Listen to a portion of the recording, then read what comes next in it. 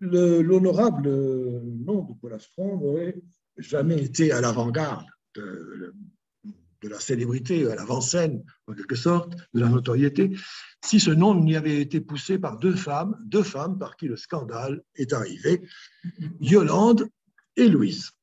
Euh, Yolande, alors nous allons chercher une photo de Yolande, voilà, par Madame G. Lebrun, bien entendu. Il a portraituré un grand nombre de fois, soit en peinture, soit au, pastel, soit au crayon. Euh, Yolande, euh, Claude, Martine de Polastron, quelquefois appelée Gabrielle, ce sont les, historiens américains et anglais qui préfèrent l'appeler Gabrielle, on ne sait pas pourquoi. En fait, euh, Yolande, pour par exemple, par exemple la comtesse de Boigne, c'est évident que c'est son prénom, et Yolande. Donc Yolande, ici, née en 1749, qui mourra à Vienne en 1793, épousant en 1767 Jules, comte de Polignac, et elle deviendra la favorite favorite de Marie-Antoinette. Elle a un secret, elle est totalement indifférente à tout ce que les autres désirent. C'est la raison pour laquelle elle obtiendra tout ce qu'elle voudra. En réalité, pas pour elle, parce qu'elle ne s'intéresse à rien. Elle est manipulée par la sœur aînée de son mari, le comte de Polignac, qui s'appelle Diane de Polignac, qui mériterait une conférence à elle seule. C'est un personnage tout à fait étonnant que j'ai découvert, euh, que j'ai découverte euh, pour cette histoire, mais aujourd'hui on n'a pas le temps. Alors Yolande, Yolande, est-ce que j'ai une autre image? Voilà, gros plan sur Yolande. Quel est l'intérêt de ce visage? Ce visage est un, visage mignon, je dirais même mignard, euh, propre à décorer des boîtes de chocolat, un visage poupin, et surtout, ce qui est intéressant, on le verra de profil, peut-être pas ici parce que je ne vais pas trop montrer, elle a un, menton rentré qui fait sa, sa mignardise. Or, euh, Marie-Antoinette est habituée à voir des femmes un peu prognates euh, qui se, mettent en avant politiquement et financièrement. Et donc, Yolande lui plaît énormément, surtout avec son désintéressement. Il ne faut, faut pas oublier que Marie-Antoinette est une femme euh, délaissée, son mari est impotent pendant huit ans, vous le savez bien, et donc elle a envie de s'amuser, elle se demande ce qu'elle fait euh, en tant que reine de, France, euh, sinon, sinon s'amuser. Donc elle va tomber folle de Yolande, naturellement. Les libelles dénonçant des, des, rumeurs de saphisme ne, manqueront pas, mais je, je n'y crois pas énormément je crois plutôt que ces gens-là étaient relativement euh, décents. Euh, donc, euh, qu'est-ce qu'il va, que va-t-il se passer avec Yolande? Là, je vous montre accessoirement, si ça peut vous intéresser, l'hôtel de Marle, qui est appelé hôtel de Polastron à Paris, donc, dont Yolande a hérité de, sa mère. C'est actuellement le centre culturel suédois, comme vous le savez sans doute, et également cette magnifique maison qui, forme, euh, flanque l'entrée de la place Dauphine à Paris appartenait également à Yolande euh, de Polastron, devenue Polignac, qui va vendre tout ça pour une bouchée de pain. Elle ne s'intéresse vraiment pas à, l'argent. En revanche, donc, Diane s'y intéresse beaucoup. Et pour que Marie-Antoinette Marie-Antoinette garde Yolande près d'elle, puisque c'est sa favorite, euh, elle va obtenir du roi euh, qu'il ouvre sa bourse de façon extrêmement généreuse et même euh, folle d'ailleurs pour la famille Polignac. Donc, par exemple, Yolande dit Moi, si je ne suis pas, je ne peux pas venir à Versailles, je n'ai pas d'argent pour paraître, je n'ai pas de quoi m'habiller. Mon mari a un petit château dans la Brie, à Clay, mais nous n'avons pas d'argent. Et puis, il a 400 000 euh, livres de dette, qu'à cela ne tienne. Le roi éponge la dette de 400 000 livres. Ensuite, euh, au mariage d'Aglaé, la première fille de Yolande, euh, le roi verse 800 000 livres de dot, alors que d'habitude, ce serait plutôt 8 000. Donc, tout le monde est effaré. À Versailles, on commence à murmurer, et la, révolution part de là. C'est-à-dire que ce sont les nobles qui commencent, les aristocrates qui commencent à dire on ne peut pas continuer comme ça. Et le pays est en faillite, vous le savez bien. Donc, euh, toutes ces largesses vont ruisseler euh, sur ce qu'on appelle le clan Polignac. Vous connaissez sans doute l'exclamation de Mirabeau Mille écus et la famille d'Assas pour avoir sauvé l'État, un million à la famille de Jules pour l'avoir perdu. Voilà, Mirabeau. Comble, Yolande devient en 1782 gouvernante des enfants de France alors qu'elle n'a pas euh, ni l'expérience, euh, ni l'hérédité euh, suffisante. C'est un poste qui est accordé d'habitude aux plus grandes familles du royaume. Donc, scandale feutré à Versailles. Yolande est installée à ce moment-là dans un très bel appartement de l'aile nord de Versailles, où elle, où elle a 12 pièces. Pourquoi est-elle dans cet appartement alors qu'elle en avait un autre déjà très beau? C'est parce que gouvernante des enfants de France, elle doit s'occuper d'eux en permanence. Et déjà, elle ne le fait pas parce que d'habitude, la gouvernante couche dans la même chambre que le dauphin. Et à une époque, il y avait euh, dans la, chambre d'une des filles de Louis XV six femmes qui dormaient simultanément, ce qui n'était pas très sain. Alors donc, euh, Yolande refuse de coucher dans la chambre et donc on va construire un, un agrandissement euh, de l'aile nord du château de Versailles pour qu'elle fasse son appartement. Non seulement euh, construire, mais en plus, ce qui est très intéressant, elle va faire un décor absolument innovant qui ne correspond pas du tout au style bois doré que vous connaissez bien du château de Versailles, mais au contraire euh, un style tapissier, c'est-à-dire que tout est en tissu, tout est confortable, tout est cosy, et le, mobilier, dans le mobilier, prédomine l'acajou par rapport au bois doré qu'on connaissait. Donc, c'est moderne, c'est décontracté, c'est très, très, très élégant. Nous avons euh, une description extrêmement euh, détaillée de, cet aménagement dans la revue Versalia de 2012, euh, qui est signée par Adrien Enfedac. Vous voyez qui c'est. Donc, on, a, on, a, des pages et des pages de, de description, tous les éléments de l'appartement de Yolande sont précisés par cet article d'Adrien Antfedac. Et dans cet appartement, elle va avoir une cour très décontractée et évidemment très à la mode. Et quant à sa charge de gouvernante, comme vous avez vu, elle ne veut pas coucher avec le dauphin, dans la chambre du dauphin, et en plus, elle va se montrer extrêmement moderne à l'âge des Lumières. Elle va dire terminer la messe quotidienne, terminer les prêches et les autres bondioseries. Elle fait quelque chose de tout à fait inattendu. Vous imaginez les commentaires à Versailles et les commentaires qui s'ajoutent dans la rue aux rumeurs de saphisme.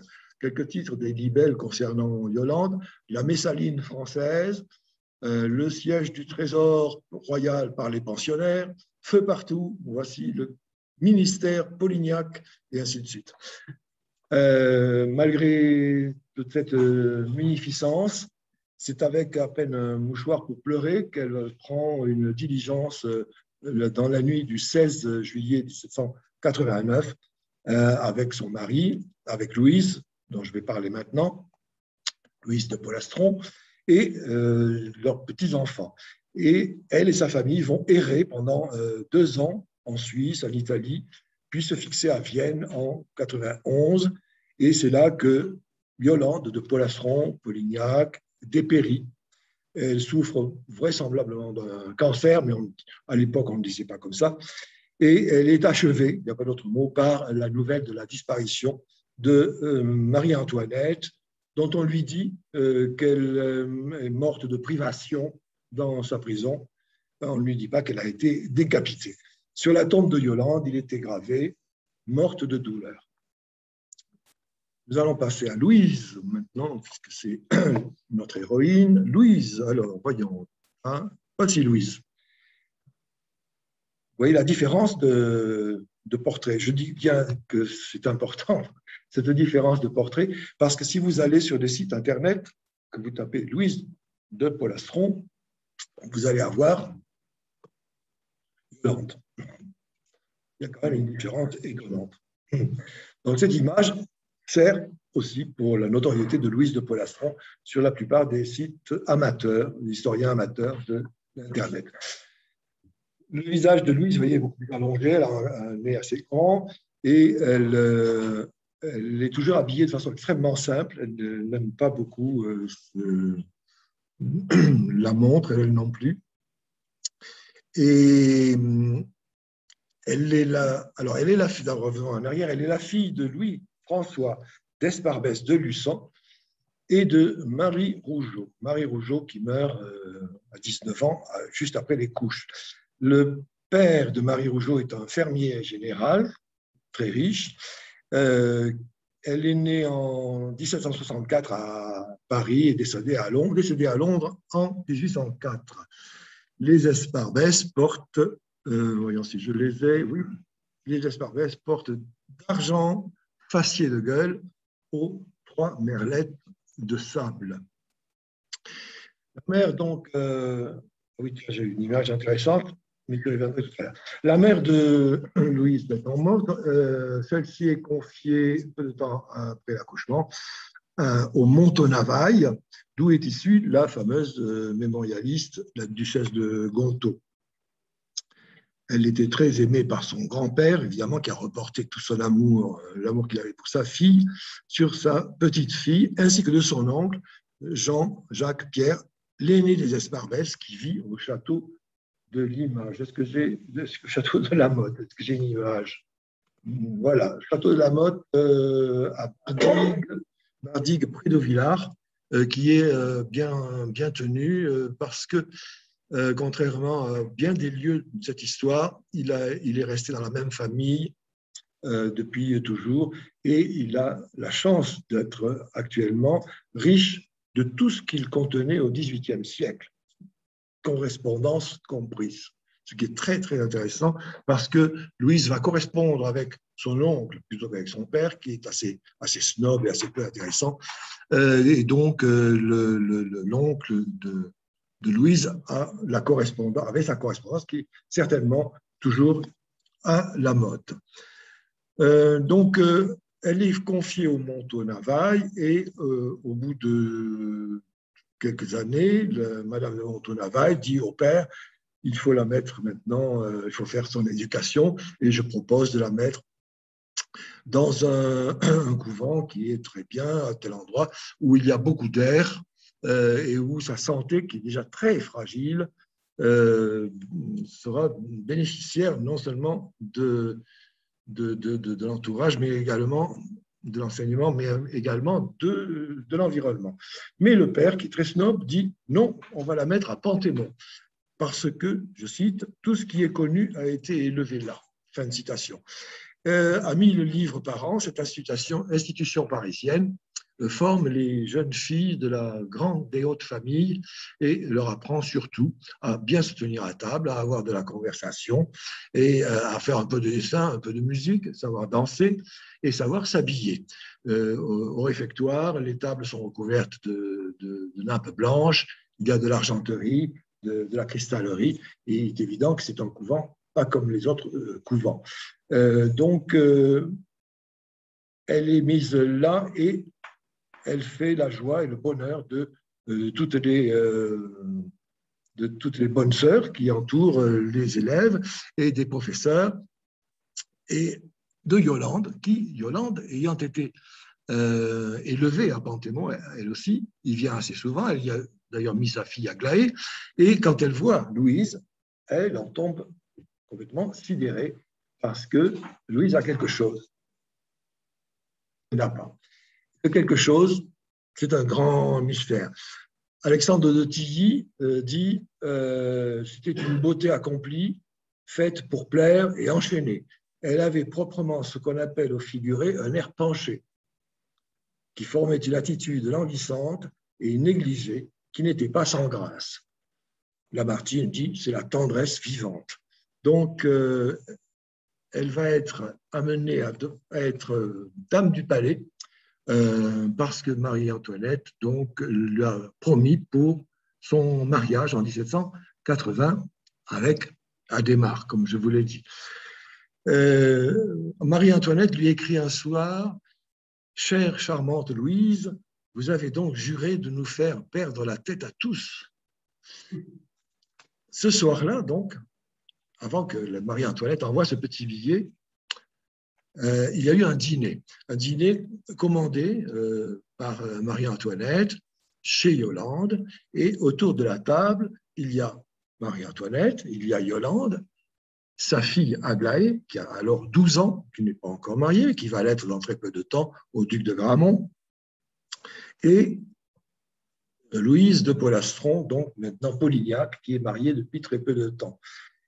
Il n'y a qu'un homme à cette table, c'est le comte d'Artois, pour ainsi dire, le loup dans la bergerie. Charles-Philippe de France, comte d'Artois, futur Charles X, né en 1757 à Versailles, mort en 1836 en Autriche, ce jour-là a 23 ans. Il a une réputation déjà très établie de coureur de jupons.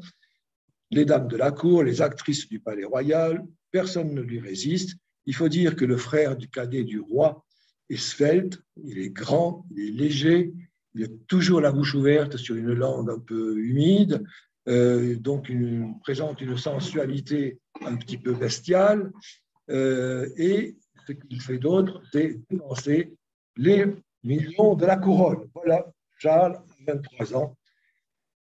Ces portraitistes l'ont toujours représenté avec la bouche ouverte. Voilà, Charles X. Pareil.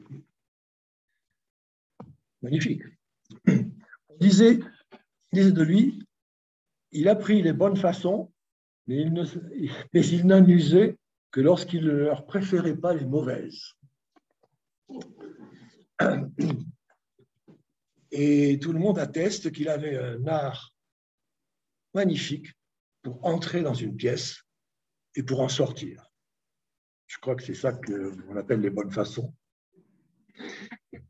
Alors, à ce dîner, bien entendu, Charles, 23 ans, était moustillé par les, euh, par les deux gamines et en particulier par Aglaé, 12 ans quand même. Et il en tombe amoureux fou. Alors, euh, donc, euh, pendant des mois, il va être toujours auprès d'elle, s'occuper d'elle, etc.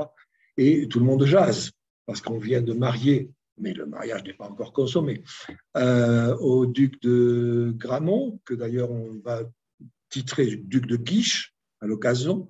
C'est la raison pour laquelle Louise appellera toujours sa grande amie Aglaé Guichette. Euh, mais Aglaé, 12 ans, 13 euh, ans, euh, disons, un peu plus tard, n'est pas du tout séduite par ce vieux bonhomme de 23 ans avec sa bouche ouverte. Et donc, elle, incroyablement, elle ne cède pas du tout au comte d'Artois. En revanche, celui-ci jette son dévolu sur Louise, Louise qui a alors 16 ans. Et donc, Louise ne va pas du tout faire, elle va pas du tout faire ce qu'il demande. Elle va faire même semblant de ne pas comprendre où il veut en venir, et elle va lui tenir euh, la dragée haute, comme on dit, jusqu'à 1786, euh, pendant six ans. Euh, d'une manière générale, vous savez que les, mariages de cette époque étaient des mariage arrangé et que les époux vivaient rarement ensemble et euh, de toute façon ne s'appréciaient pas tellement l'un l'autre. En revanche, il était tout à fait normal d'avoir euh, des liaisons euh, pas trop trop fidèles, pas trop pas trop soutenues, parce que ce n'était pas à la mode. Alors Louise va finir par craquer, comme on dit.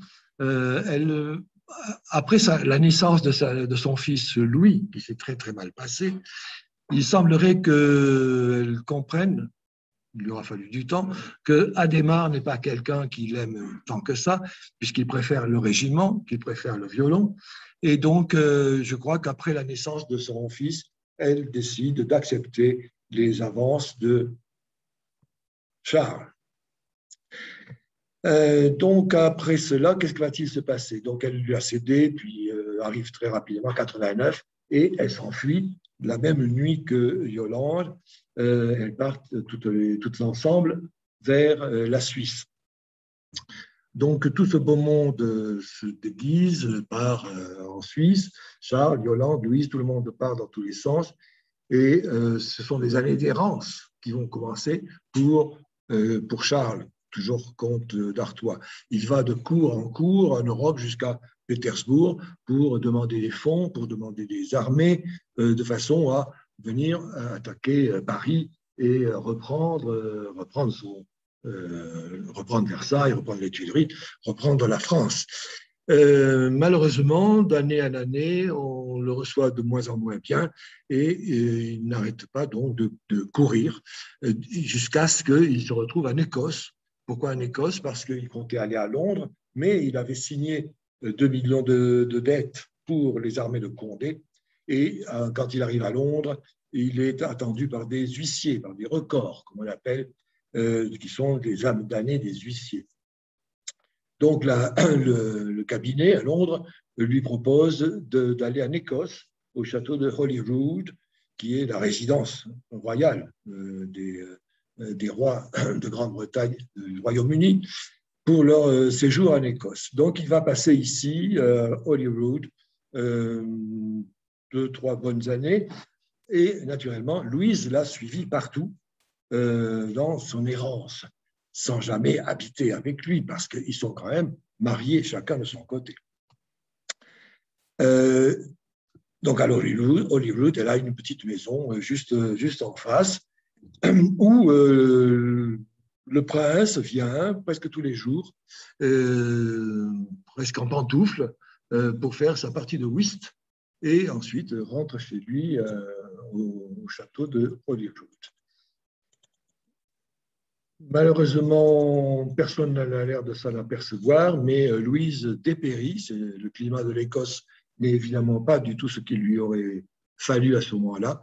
Et euh, quand euh, la cour, euh, quand, le tribunal anglais décrète que les, créanciers n'ont plus de, droit de réclamer les 2 millions à, Charles, celui-ci va s'installer à Londres dans un petit hôtel particulier et trouve une maison, naturellement, pour Louise, et il continue. Il vient à 5 heures, il repart à 11 heures, etc., tous les jours.